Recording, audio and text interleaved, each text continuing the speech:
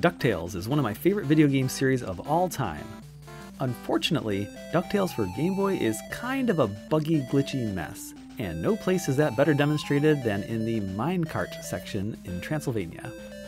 The player rides a minecart along a short path and has to jump out before it falls into a pit at the end.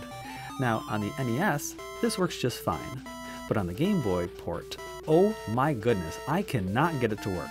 It took me literally 12 tries before I successfully made the jump out of the minecart. There has got to be a better way. One option is to hit your head on the ceiling, knocking you out of the minecart. The benefit is that you can now safely jump across the pit with little fear of falling in. The drawback is that you lose two health points in the process of wanging your head against the wall. Now the best way I've found to get through this section is this. When it's time to jump out, hold the right arrow and jump back onto the minecart track. I've been able to safely land on the ledge behind me 100% of the time, allowing me to easily jump over the pit no problem.